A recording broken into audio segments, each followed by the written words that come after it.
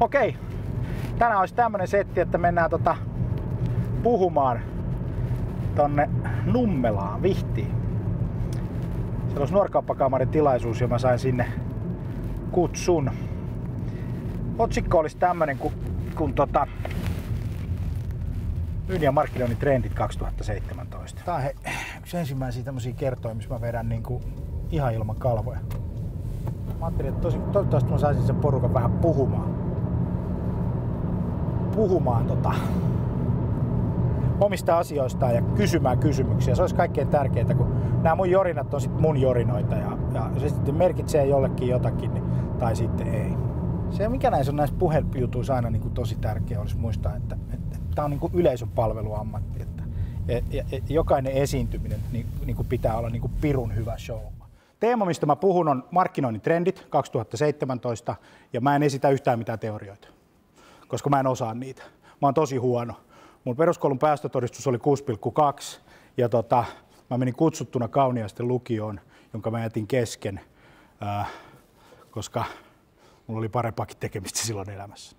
Mutta mä oon kuitenkin käynyt kauppakorkeakouluja ja kaiken näköistä tällaista myöhemmässä iässä. Mutta se kertoo oikeastaan siitä, että mä oon enemmän tekijä kuin teoreetikko ja mä oon antanut muille vapauden analysoida sit näitä töitä. Mutta se, mistä mä puhun, on faktaa ja se on totta ja se on tapahtunut ja se on ihan oikeasti olemassa. Ja, ja nyt nämä kanavat, millä me tavoitetaan meidän ihmisiä, niin mä aloitan tällaisesta asiasta, kun on 15 vuotta ollut yrittäjä vastannut kaikesta itse. Mä lähdin 2002 yrittäjäksi. Perustin semmoisen firman kuin Accession Finland. Me tehtiin 10 vuotta telemarkkinointia. Me kiusattiin ihmisiä puhelimella, me myytiin myyntikäyntejä. Ja se oli helkkari hieno bisnes aina vuoteen 2010 asti. Kato, me otettiin yksi ihminen soittaa puheluita. Sen tehtävä oli soittaa 120 puhelua päivässä. Ja sillä se veivasi semmoinen 10-15 tapaamista joka päivä, joka me ulosmitattiin sitten meidän asiakkaille myydä niitä noin 200 euroa kappale. Ja tämä bisnes oli helkkari hyvä. Mulla oli enemmän rahaa kuin rosvopäälliköllä illalla, kun mä menin nukkumaan. Ja aamullista oli tullut vielä lisää. Mutta 2010, 2011, 2012 se bisnes rupesi kuolemaan, koska ihmiset ei enää vastannut puhelimeen. Ne yksi, kaksi vaan lopetti vastaamisen. Sillä tavalla, että mä en saanut siitä enää liiketoimintaa. Millään mittareilla mitattuna semmoista, että mun olisi kannattanut olla siinä liiketoiminnassa. Me yrittäjät ollaan sellaisia, että kun jotain menee tuulettimeen, niin me yritetään vielä lisää.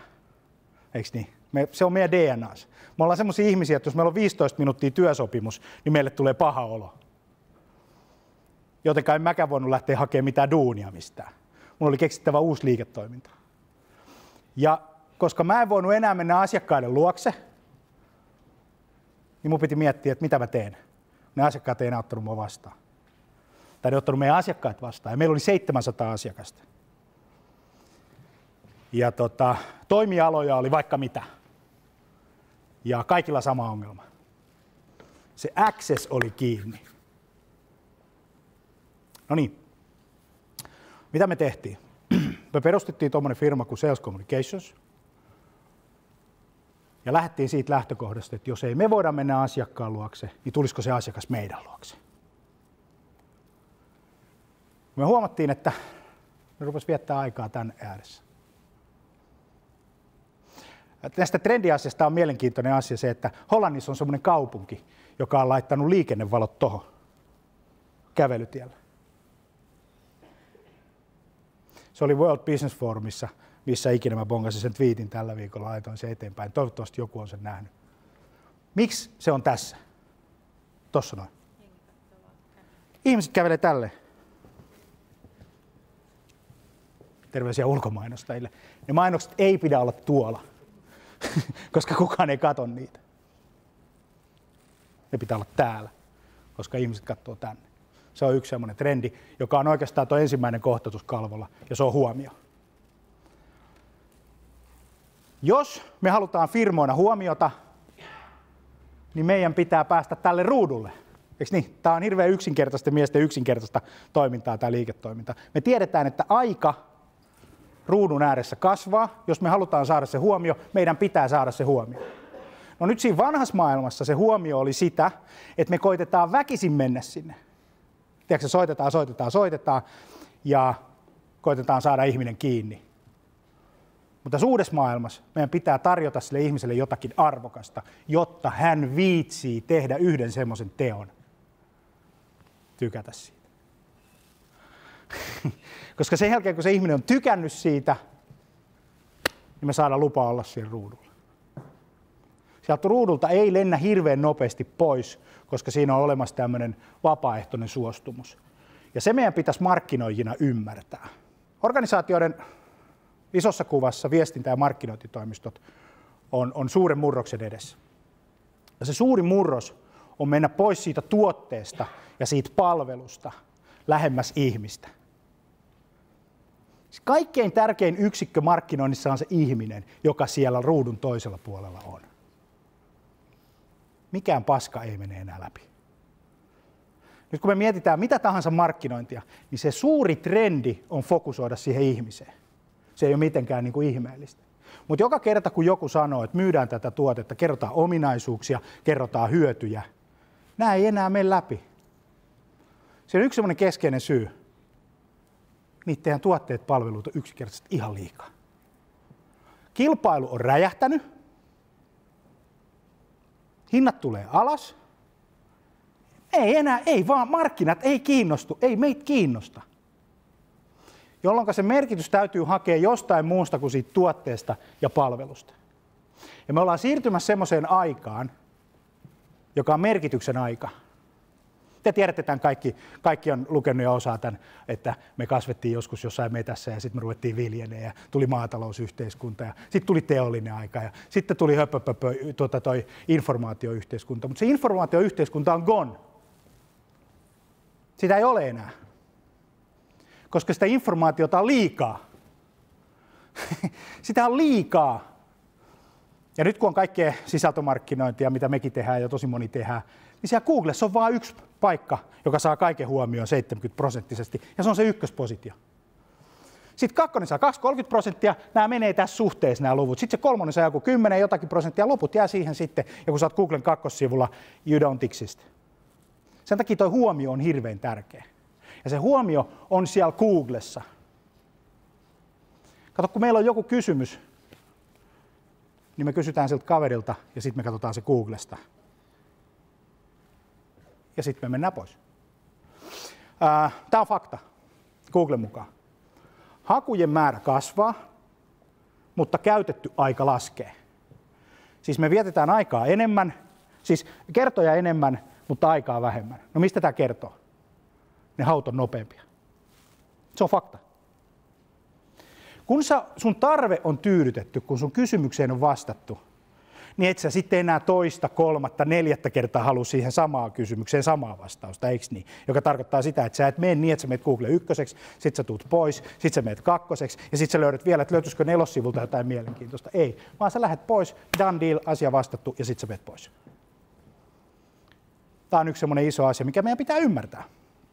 Me nähdään tällä hetkellä markkinoinnissa semmoinen trendi, että yritykset ostaa sitä oikeutta sieltä mainoksista ja kuluttaa todella vähän aikaa siihen, että me oltaisiin ykkös-, kakkos-, kolmospositiossa. Ja kun kysymys on tuosta ensimmäisestä asiasta, joka on se huomio, niin kaikki tietää, mikä on mainona ongelma. Se ei ole uskottava. Jos siinä lukee mainos ja tarina, se ei ole uskottava mutta jos siinä lukee Wikipedia ja jotain, niin se on uskottava. Eikö niin? Jokainen muuten voi mennä kirjoittaa Wikipedia-artikkeli. Se vie viisi minuuttia ja maksaa nolla euroa. Me ei mennä sinne, koska me ei olla kiinnostuneita siitä ihmisestä. Se on se ensimmäinen trendi. Nähdään hirveän paljon semmoisia juttuja, että Google-hakusanat maksaa 4 euroa, 5 euroa, 6 euroa per klikki ja kaikki mittarit näyttää, että kirjoita yksi blogi, niin sä pääset ykköseksi. Tämä on yksi semmoinen iso, iso asia, mihin pitää kiinnittää huomiota, koska se huomio on tuolla verkossa. No sitten puhutaan sosiaalisesta mediasta. Me järjestettiin viime viikolla semmoinen päivä kuin Digital Sales Day, hashtag Digital Sales Day, joka oli yksi trendaavimpia hakusanoja viime tiistain 25. päivä. eiku, hetkinen, mikä päivä nyt on? Siis nyt on vappu oli tällä viikolla, siis viime viikolla. Niin tota, 926 ihmistä tuli, kun me kutsuttiin verkkoon. Siis ihan pidettiin tämmöinen webinaari, joka kesti 8,5 tuntia. Siinä oli yhdeksän erilaista osiota. 926 ihmistä tuli. Markkinoinnin kustannukset oli noin euro per sainaaja, euro 20.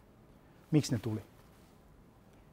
Ne tuli sen takia, koska me haluttiin palvella heitä.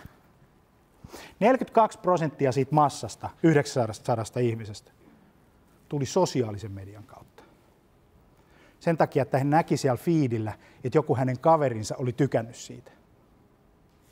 Mäkin tykkään, toi suositteli, kaikkihan tietää, että suosittelu toimii. Niin, niin se on yksi semmoinen iso asia, mihin pitää, meidän pitää niin kuin panostaa. Ja 20 prosenttia tuli Googlen kautta. 60 prosenttia tuli kanavien kautta, jotka, joihin ei periaatteessa pääse mainostamalla. Tai pääsee, mutta se ei ole uskottava. Ja se johtuu siitä, että kun ihminen kysyy kysymyksen, niin sä vastaat siihen. Eikö niin? Meidän myyntimiehet vastaa koko ajan asiakkaiden esittämiin kysymyksiin. Toimiiko tämä? Onko tässä takuu? Kenen kanssa olet tehnyt? Paljonko tämä maksaa? Eikö niin? Ne kysyy koko ajan kysymyksiä.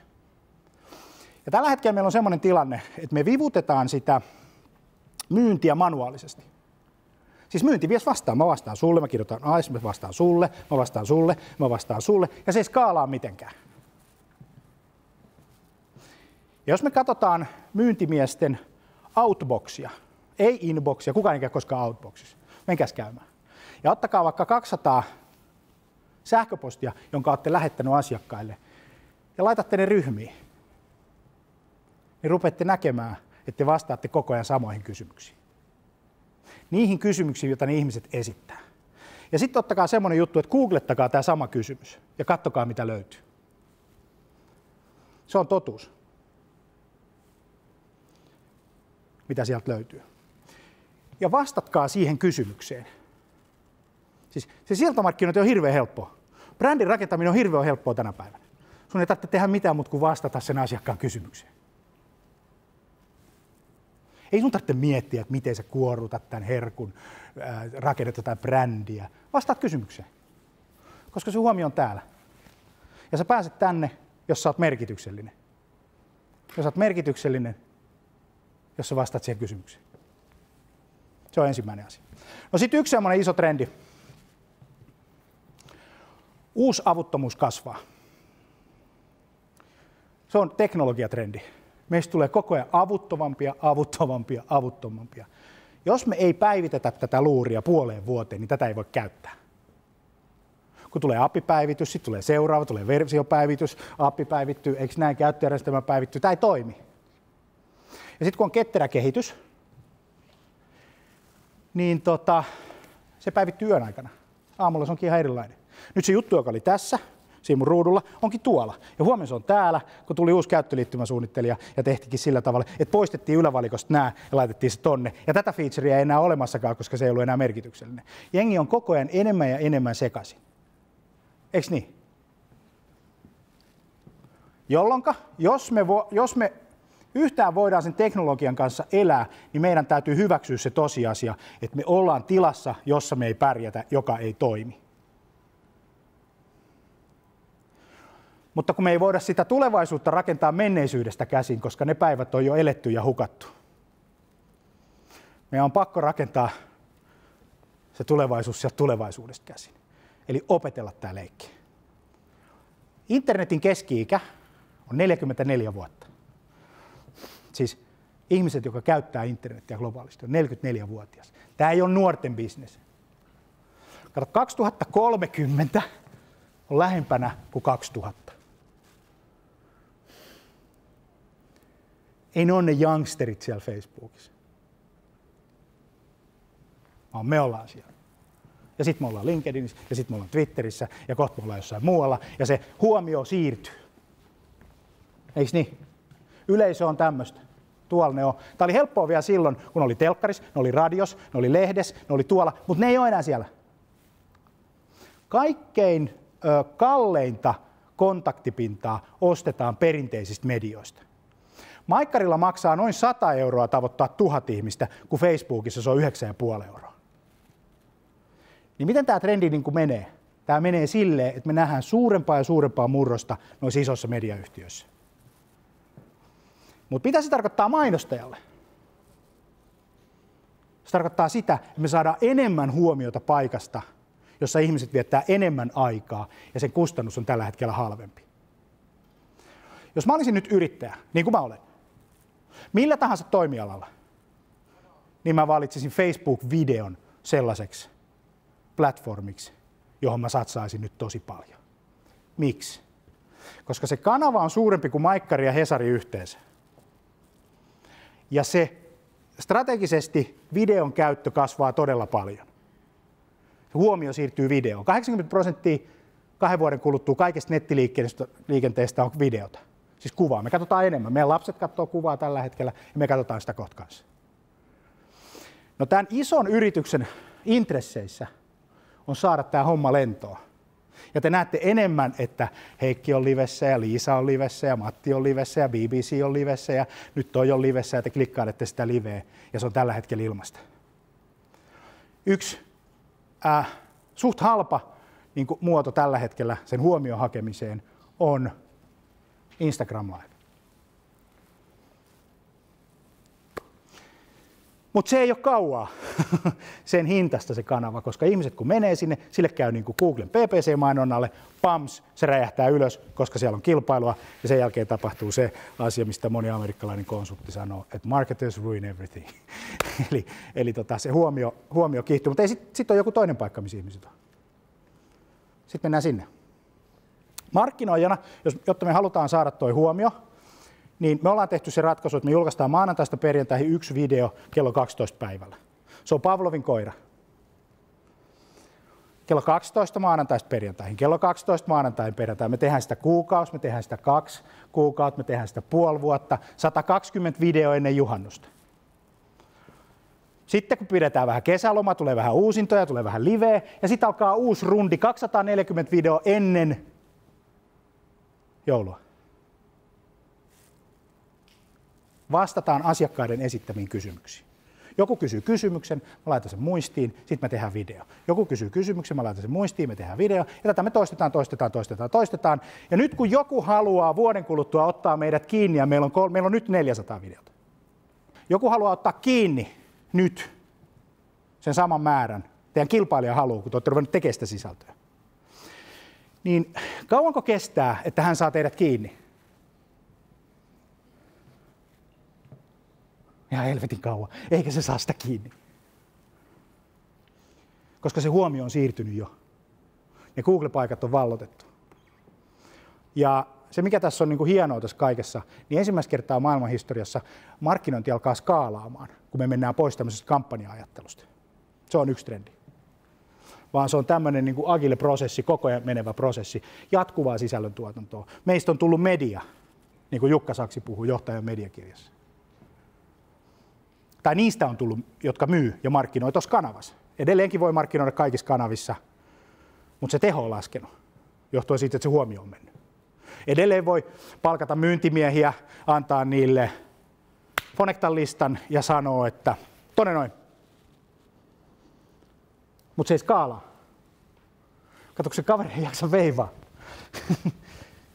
se, ei, se ei jaksa veivaa. Se, se, vaikka sä paat millaisen porkkanan sille, niin se kuolee siihen, kun se ihminen ei enää skaalaa. Se on vähän samanlainen asia, että me annettaisiin sille maajussille vähän isompi kuokka.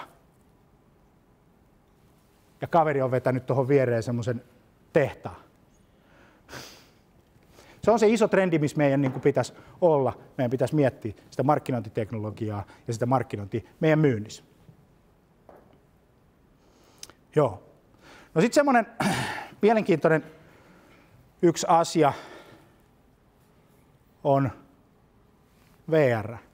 Ei valtion rautatiet, vaan virtuaalitodellisuus, joka joillain toisilla aloilla, jo, joillain aloilla alkaa nostaa pikkuhiljaa päätä. Mä en usko, että siitä tulee iso trendi ihan vain sen takia, että kuka viettää aikaa semmoisen laitteen kanssa.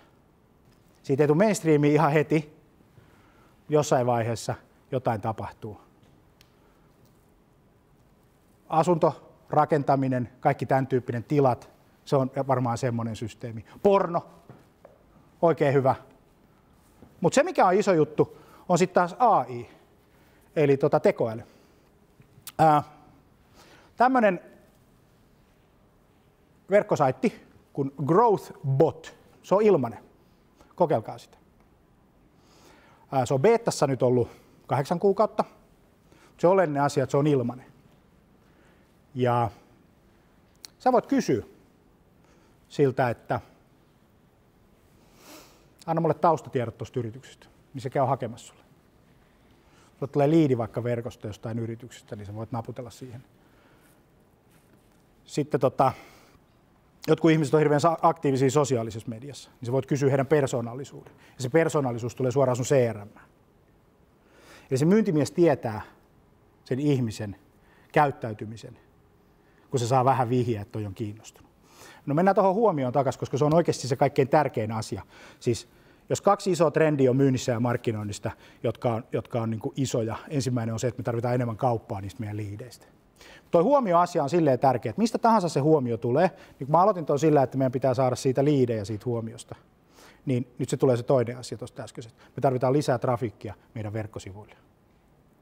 Ja kun me saadaan se verkkosivutrafiikki, niin meidän pitää olla jotain annettavaa, jotta me saadaan se liidi sieltä. Eli syntyy ihan normaalia vaihdantaa, niin kuin tässä on tuossa tota, osuuspankin standilla. Se on käyntikortti. Eikö niin? Me ollaan messuilla haettu käyntikortteja, eikö niin, että me saadaan liidejä. Nyt ne messut on vaan niin kuin verkossa. Ja tota, jotta ihmiset täyttää ne, ne, ne käyntikortit ja jättää ne yhteystiedot, niin pitää olla jotain arvoa. Mun pitää asiakkaana saada jotakin merkityksellistä, että mä annan palan minusta, mun identiteetin. Ja heti kun mä oon antanut sen identiteetin, niin se yhtiö tietää, mitä toi tekee, ja se alkaa seuraa sen käyttäytymistä. Ja muodostuu semmoinen puuli informaatio, informaatiota, dataa sen käyttäytymisen perusteella sinne verkkosivuille. Joka kerta kun me klikataan jotakin, joku tietää siitä. Ja sitten kun ajatellaan sitä, että menee vuosi, menee kaksi, niin se kaikki meidän tekeminen on jossain tietopankissa. Ja sitä tietoa, jota sä olet jättänyt, voidaan käyttää hyväksi ja kun siellä on 100 000 ihmistä tai 10 000 ihmistä tai 1000 ihmistä, niin se myyntisuppilo pienenee, eikö niin? Meillä on enemmän parempia liidejä. Meillä on enemmän niitä, jotka on aktiivisia. Yksi iso trendi on se, että myynti, eh, CRM ei toimi, koska me ei kirjoiteta sinne mitään. joku, joku yritys, jonka, jonka CRM on täynnä tietoa, jonka se myyntimies on sinne kirjoittanut. Ei yksikään ja me tuskailla. Se ei tule tapahtumaan. Mutta se, mikä tulee tapahtumaan, on se, että sinne CRM rupeaa tulee tietoa, jonka se asiakas on itse antanut. Ja sitten kun se yritys on vähän älykäs, niin se ymmärtää, että kun mulla on tuo tieto tuolla olemassa, niin mitä jos mä käyttäisin hyväkseni sitä ja alkaisin tuottaa sitä sisältöä, mitä se ihminen tarvitsee. Jos Stokka olisi älykäs organisaatio, niin kuin oikeasti älykäs, niin se palvelisi sillä tavalla, että kun sinne verkkosivulle jostain menee, niin se kysyisi, että mies vai nainen? Ihan tämmöisen yksinkertaisen kysymyksen. Ja sen jälkeen se personoi sen verkkosaitin sen tilanteen mukaan. Ja sitten on tämmöinen asia kuin keksi, joka sieltä Stokkan sivulta voisi tulla sen asiakkaan selaimeen. Ja tallentaa se informaatio, että nyt on kysymys tämmöisestä miehestä, joka on surffannut urheiluvaatteita jonka jälkeen seuraavan kerran, kun hän menee mihin tahansa verkkoon, niin siellä voisi näkyä Stokkan mainokset perustuen siihen tietoon, mitä hän käyttäytymisellä jättänyt. Retargeting. Erittäin tehokas. Sitten se voisi kysyä vähän lisää ja se voisi vähän oppia ja menee aikaa, menee kaksi vuotta, niin sillä on aikamoinen tietokanta siellä olemassa. Ja sitten on tullut suhde. Mä käyn tuolla, koska se on mulle helppoa. Koska se merkitsee mulle. Ja tämä on tämä merkitystalous. Sä merkitset, mä tuun. Ja sitten mennään tuohon viimeiseen kohtaan, joka on toi diilit. Attention, hanki huomiota, kattokaa tänne, jätä yhteystieto, sitten aletaan myymään. Kun mä tuun verkon kautta, niin mulla on siihen joku syy. Mä googletan jotakin. Nyt kun se yritys on siellä älykäs ja se on oikeasti kiinnostunut asiakkaista, eikä itsestään, siis meidän on niin helvetin kiinnostuneita itsestään, että meidän markkinointi ja myynti oikein niin kuin pursua niitä ominaisuuksia, kun me ollaan luotettava, kotimainen, vakavarainen toimija, joka ei kiinnosta ketään, kun niitä on 45, ja mä en tarvi, eikö näin? Niin se yritys ottaa kiinni heti siitä kysynnästä. Koska digitaalisessa maailmassa ei ole mitään ihmeellistä suhteessa analogiseen maailmaan, kun siellä on se ihminen siellä toisessa päässä, oli väkkärä mikä tahansa. Jos mä oon missä tahansa kaupassa, avaan ton oven, kävelen sinne kauppaan sisään, jos myyjä ei sano mulle moi, voiko mä auttaa sua jotenkin? Niin mulle tulee kaikkein pahin asia, joka on huono asiakaskokemus, joka perustuu sen toisen arroganttiuteen jos te katsotte mitä tahansa huonoja, paatte silmät kiinni, mietitte vähän aikaa, että mikä on mun huonoja asiakaskokemus, niin se on se, että se myyjä ei huomannut, se ei välittänyt, se kohteli mua arrogantiksi, se ei ollut kiinnostunut musta. No digitaalisessa maailmassa, kun ne markkinat ei edelleenkään välitä, ja sitä tarjontaa on niin helkkaristi. Mutta jos sä saat sen huomion siellä, ja sä oot yhdistänyt sen sun myyntiprosessiin sillä tavalla, että saman minuutin aikana sä annat sille se henkilökohtaisen huomion, ja vaikka soitat sille, ja sanot, että Jani, kiitos kun sä tulit meidän sivuille. Miksi? Niin mitä, ajatelkaa, mitä siellä toisessa päässä, siellä asiakaspäässä tapahtuu? Se tunnereaktio, jonka te saatte vastaan, on henkilökohtainen, mut on huomattu, mä oon tärkeä, musta välitetään ja sä alat just merkitsee mulle. Sä merkitset mulle, koska sä oot palveluammatissa. Sä palvelet jotain ihmistä. Se palvelu ei hävinnyt minnekään. Ja meillä olisi ihan mielettömät mahdollisuudet tässä.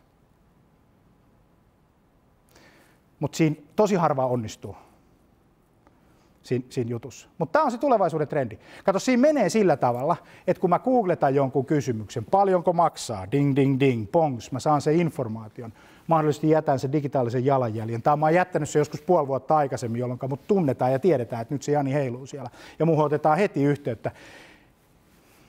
Miettikää sitä kaveri, joka veivaa siellä vieressä. Ei se pääse. Siis me ei päästä edes ostoprosesseihin mukaan ilman, että me levitetään verkot niin kuin isoksi. Tämä on semmoinen niin kuin iso, iso, iso trendi mitä, mitä tapahtuu. Sitten on tietysti olevassa se, että käyttäkää sitä videota oikein tosi paljon, koska siinä on niin kuin nyt todella paljon huomiota. Ja markkinointi, kaikki pitäisi ajatella sillä tavalla, mistä me saamme huomiota mahdollisimman pienillä kustannuksilla, jotta meidän liiketoiminta olisi niin kuin kasvavaa ja kannattavaa. Ja tänä päivänä vielä niin, että me saataisiin se markkinointi skaalaamaan. Ne sata hakukoneoptimointia blogia – konvertoi vielä vuoden päästä. Vielä kahden vuoden päästä. Ne Googlen ykköspositiot ei lähde pois. Ja siinä on kaksi asiaa, mitä pitää tehdä. Vastata kysymykseen, ihan siihen kysymykseen, mitä esitetään.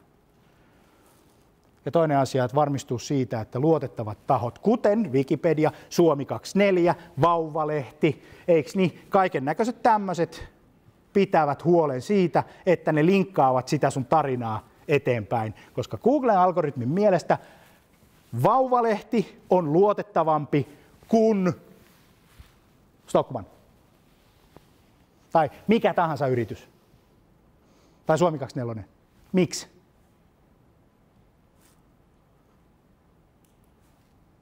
Siellä on ne ihmiset, jotka puhuu aitoja asioita – ja mikään paska ei mene läpi, koska meidän tuntosarvet, semmoiset, tiedätkö, bullshit raiderit, ne on niin isot, että jokainen jää kiinni ja lentää veke, jotka kertoo, kuinka hyviä me ollaan, kuinka hyvät ominaisuudet, kuinka vakavarainen, luotettava toimija me ollaan koska se merkitys puuttuu. Kun niitä vakavaraisia, luotettavia suomalaisia firmoja on helvetti, soikoon tämä maa täynnä, alalla kuin alalla.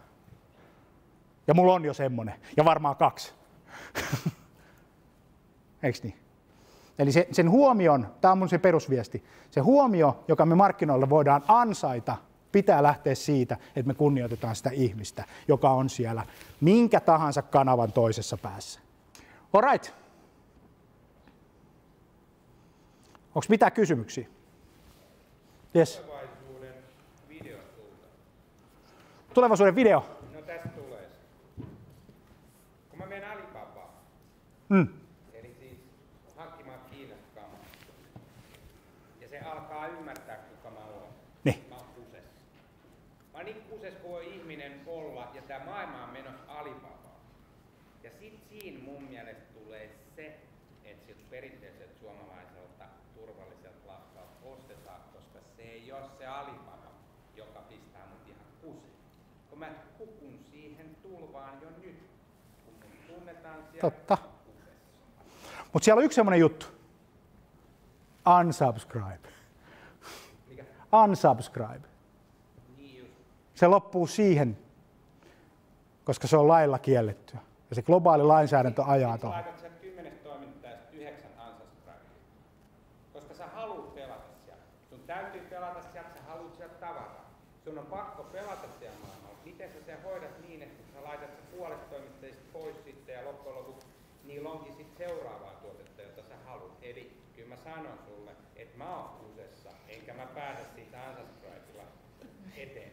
Sun täytyy tehdä ne hankinnat. Kyllä. mennyt siihen hommaan, niin mä luulen näin, että siellä on tommonen nappula kuin virta veke. Ja vanha-aikainen puhe. Ja sit siellä on se tuttu lafka, missä on se tuttu jamppa, joka toimittaa sitä samaa krääsää vähän kalliimmalla. Mutta se ei soita mulle. Valitettavasti kaikki mittarit näyttää tällä hetkellä päinvastasta, mutta toi voi olla se oikeasti. Toi voi olla se, se, se juttu. Mutta mikä siitä kanavasta tekee sulle merkityksellisen? Haluaa olla. Joku taho nostaa ihmisen, eikö niin? Jos siellä on kaveri, joka spämmää, tekee kaiken näköistä muuta, tulee overloadi, ei kiinnosta, niin kuka sen pelin voittaa?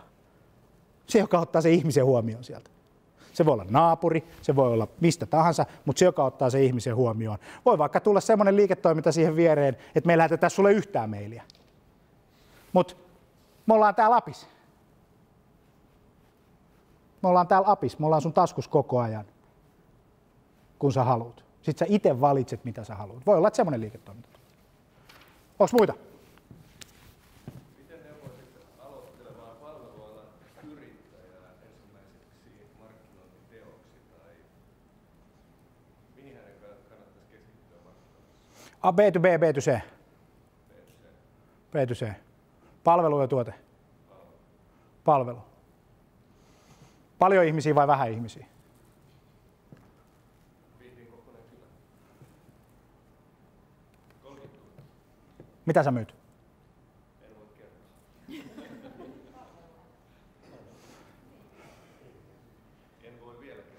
Joo, joo, ymmärrän. Tota, palveluala, B to C, lokaali.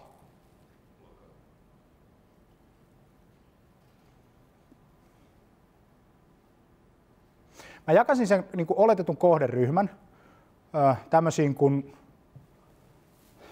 ostajapersona.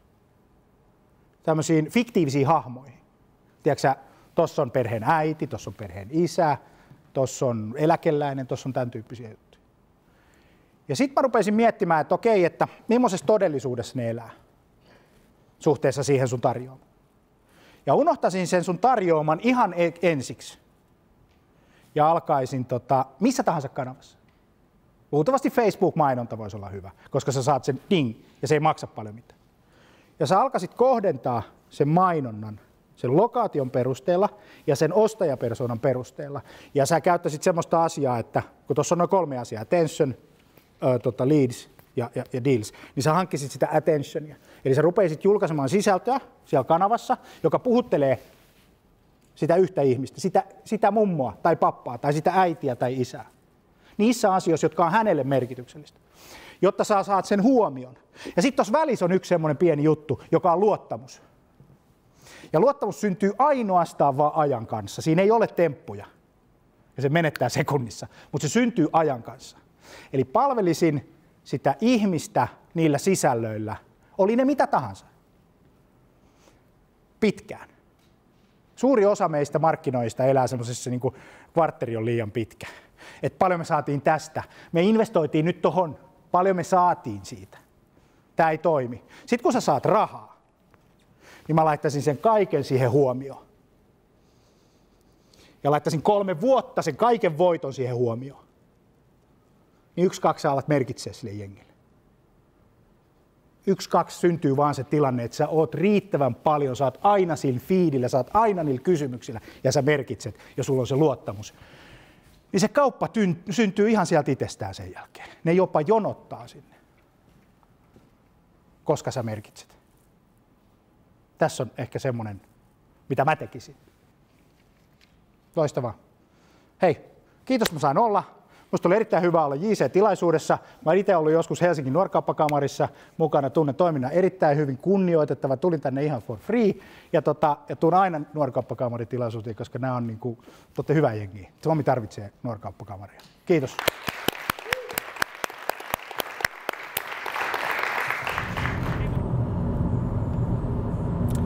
No niin, sinne meni JC Vihti. Oli muuten mieletön setti.